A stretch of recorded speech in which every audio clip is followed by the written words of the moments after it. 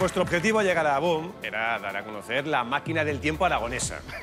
¿No? El anacronópete. Es, sí, es sí, así, sí, ¿no? sí, Así es, sí, sí. Sí. ¿Cómo os quedáis? Si os digo que hemos hecho una recolecta ante el equipo del programa y hemos creado un prototipo de máquina del tiempo. ¿Eh? Pasmaos. Sí, en serio. Y todos han puesto, además, que es lo más sorprendente.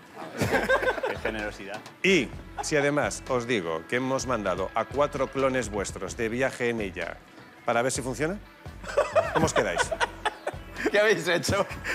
Pues vamos a ver los resultados, ¿no? Del experimento. Lo primero, la máquina fue unas décadas atrás.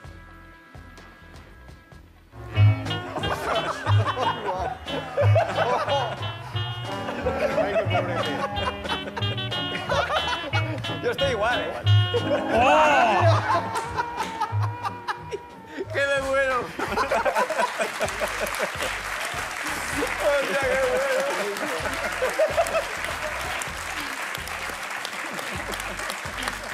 Madre mía.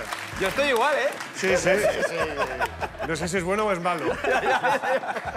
El anacronópete también, ha, también ha, ha- ha resistido el viaje al futuro. Qué bueno. Así que de aquí a unos ¿Al añitos... futuro? Ah, al futuro. A ver, a ver.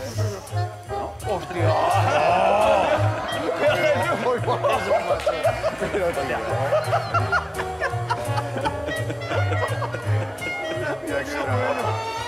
tenéis cara de ministro. ¿No?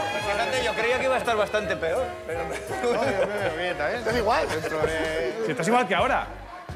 Bueno, pero... ah, ¡Qué bueno! ¿Qué pasa? ¿Qué pasa? No ha ocurrido algo, ha ocurrido algo. Ha ocurrido algo.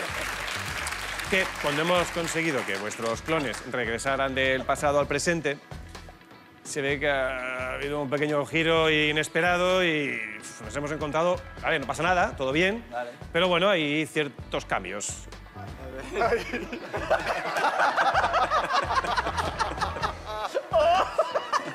Oye, Raúl, estás buenísimo.